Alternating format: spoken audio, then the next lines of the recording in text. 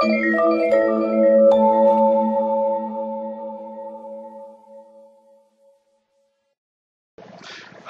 my name is Stephen Walther, and in this video, I'm going to show you how to create new HTML helpers. Now, what's an HTML helper?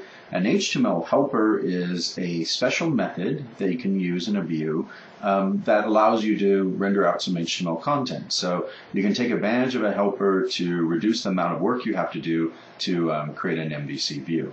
Let me show you an example of that. Um, in front of me, I have open a view. Um, this is just a view that renders out, you know, a form with a first and a last name um, input um, text box. So if we look at the form, you notice it has an opening, you know, form tag. Um, it has a label and an input tag. That's for entering first name, and then it has a label and an input tag for entering a person's last name. So when this view gets rendered out, it looks like this. So pretty, you know, standard HTML form. Now, um, if you look at the view, you'll notice it's all written just using HTML. I just typed out, you know, all the HTML tags. Um, that can get repetitive after a while. I mean, um, HTML is not exactly the most concise way of uh, writing things out. And so what you can do is if you want to, you know, make your life a little easier is instead of writing out all the HTML tags all the time, you can take advantage of an HTML helper. And all an HTML helper is, it's just a method that renders out a string that you can use in a page so that you don't have to, you know, type out all your HTML tags. So let me show you an example of that. Um, right here I have a, um, an input um, tag, and so this you know, writes out a, a text box. Um, if I don't want to type this out, I can go ahead and take advantage of an HTML helper. I'm going to put in a bracket percent equal sign, type in HTML, and there I get a list of all the helpers right here. By typing in HTML dot, you notice that one of the helpers I get is a text box helper. So I'm going to select that, and I'm going to give the name of the text box I want to create. This is going to be first name.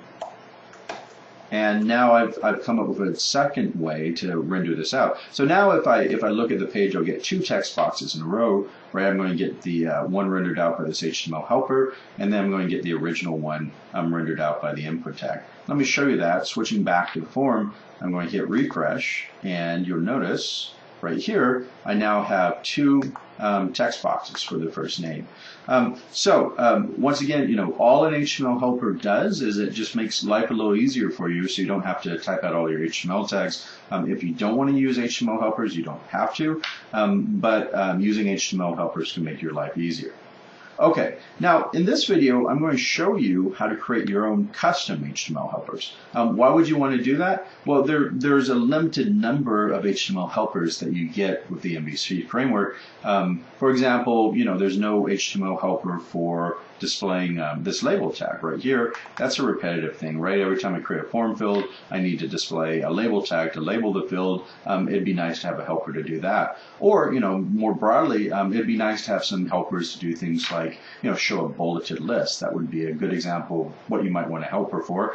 Or, uh, you know, showing some database data. Let's say you want to grab some database data and display that database data in HTML table.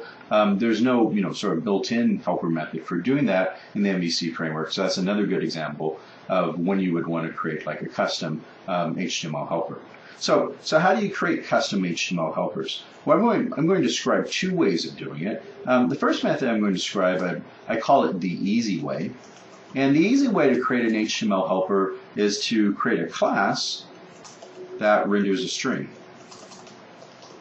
So that's all that's involved. It could be a VB.NET or a C Sharp class, and all you do is you create a method on it, render out a string, and then you use that within your view. So that's one method. The second method I'm going to show you is, I'm not going to call it the hard method because really it's not that hard. I'm just going to call it the uh, slightly less easy way. And uh, the second method, um, instead of you know just creating a, a, class that renders out string, what you do is you create a special type of method called an extension method. Um, so why would you want to use the uh, you know this slightly more difficult way? Um, because if you want your methods to show up on the HTML property of a view when you type like HTML dot, then what you need to do is you need to add extension methods onto something called the HTML helper class. So if you want your extension method, if you want your HTML helper methods to work the same way as a standard Microsoft um, HTML helper methods, then you need to do it using this slightly more difficult way. But let's let's start with the easy way. In fact, the first thing I want to show you is I want to show you how to create a helper that works just you know that renders out a, uh, a label control that we can um, use in a view, so we don't have to type out that HTML label every time we want to display a label. So I've switched back to Visual Studio, and now I'm ready to go ahead and create my you know label helper method. So um, what I'm going to do is I'm going to just create a you know a class, a VB.NET class um, called label helper, and I'm just going to have it have one shared function that returns a string that represents an HTML label. So let me go ahead and do that. I'm going to start by creating a new folder in my project. So I'm going to right click on the on the project node. I'm going to go to add new folder and I'm going to call the new folder helpers. This is where I'm going to put all my helper methods. And then I'm going to go ahead and add a VB.NET class to this new folder. So I'm going to right click, um, select add, and select class. And I'm going to call my label helper um, label helper. Click add and there's my new VB.NET class. And as I mentioned before, this class is just going to have one public shared um, function in it that's going to return the string for the label. Now you might be wondering, well, why why create a shared function? The reason for that is, you know, the, the whole point of creating one of these helpers is to reduce the amount of work you have to do. If I make it a shared function, then I can call it directly without having to instantiate the label helper class first, so it reduces the amount of typing I have to do. So it's just a way to make my life a little easier. So I'm going to create a public shared function. I'm going to name the function label, and this function is going to take two parameters. First, it needs to know the target of the label, you know, what input box this is the label for. So that's just going to be a string parameter. And it also wants to know the, uh, it also needs to know the text that should show in the label. So um, again, that's just going to be a string parameter. And this whole function is going to return a string. So I need to make sure um, that I said that. Okay, so um, this function is really, really easy. All I need to do inside of it is say return string.format. And uh, the string that this is going to return is it's going to look like this. I'm going to say label for. I'm going to use um, single quotes here because that's valid, you know, XHTML, so I can do that. And then this is where I'm going to stick in the text for the label. And now I can just pass those parameters over to the string.format method. And we're done. We've created our you know, label helper. Let me go ahead and build it just to make sure there's no errors. Oh, great, it's beautiful. So now we're, we're ready to use it. So let me switch back to that view that we created before, and I'm going to change it now so that uh, so I don't use this label anymore. I'm going to go ahead and take advantage of this of this new helper that I've created. Um, now, to be able to use any of the, you know, my own custom helpers, I'm going to have to add an import. So I'm going to go ahead and, and do that.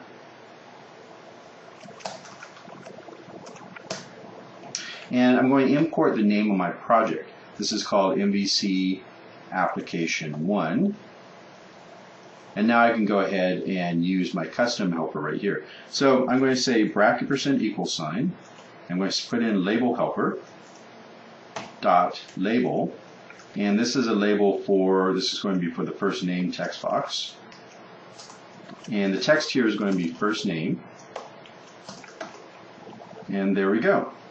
So now um, I should get two labels in a row, right? I should get the, you know, my new uh, one rendered my, my helper, and I should also get the original one. So um, let's make sure all of this works. Um, I'm going to switch back to the form, hit refresh, and notice that now we have two labels showing up, the original one and now our, you know, our new um, one that we created by creating that um, VB.NET class.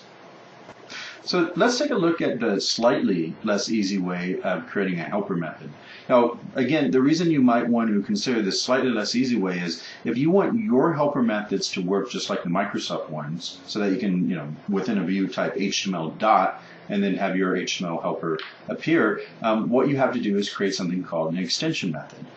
So you create an extension method um, using VB by creating something called a module, and in the module you create a function, but you have to decorate the function with a special extension attribute, and that transforms the normal function into an extension method. So you can use uh, extension method to add new functionality to an existing class, to add new methods onto an existing class. So let's see how that works. Um, I'm going to create a a new um, HTML helper method by creating an extension method that, you know, again, renders out a label, um, a label tag.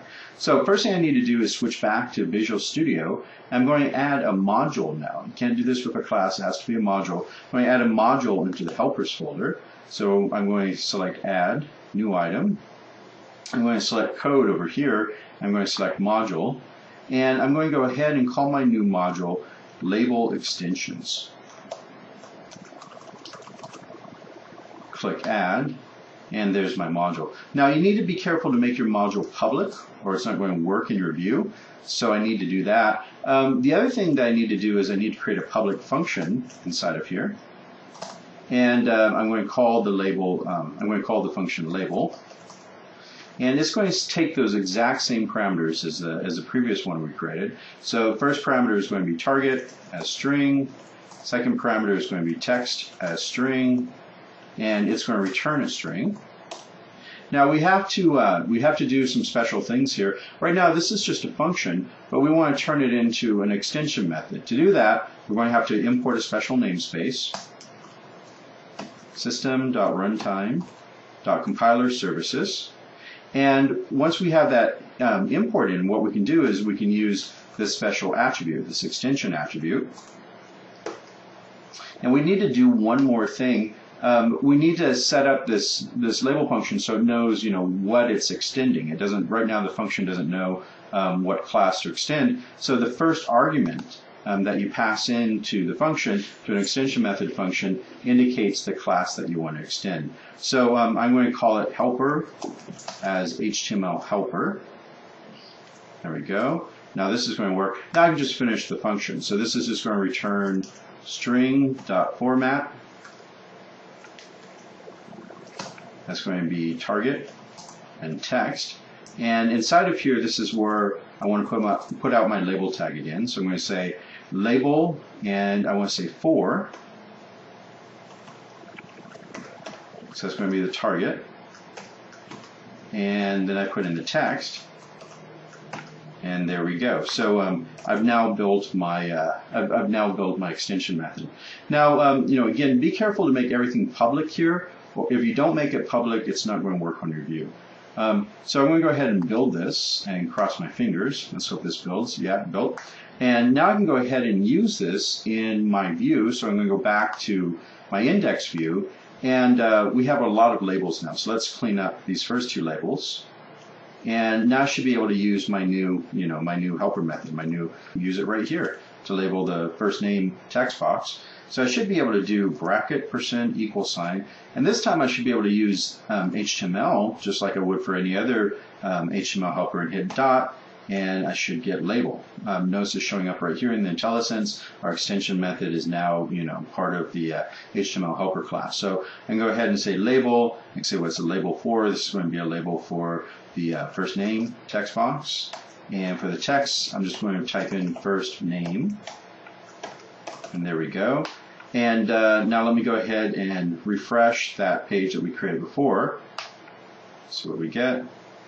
And it says first name. This is working as a label. If I click on first name, notice that focus goes to the text box. And uh, if we look at the source here, you'll notice that uh, if I scroll down, that here's our, here it is right here. Let me scroll it over here below to the right. Um, this is the new, uh, this is the text that's being rendered out by our extension method. So it's just rendering out some standard HTML text. Okay, so um, in this video, I've talked about um, how to create HTML helper methods. I've explained two different approaches to creating an HTML helper method. I showed you how to do it the easy way, by just creating a class that has a, a, function in it that renders out a string, that's fine. Nothing wrong with doing it the easy way. But if you want to create a HTML helper method that works just like the helper methods in the MVC framework, then what you need to do is create an extension method. Slightly more difficult because you have to remember to you know create a module and you have to import the right namespace and put in that extension attribute. But once you've done that, then you have a way to create, you know, helper methods that you can call by just typing HTML dot and then they show up. So um, this video, uh, after seeing this video, hopefully um, you'll have some good ideas for new helper methods that you can use in your MVC projects.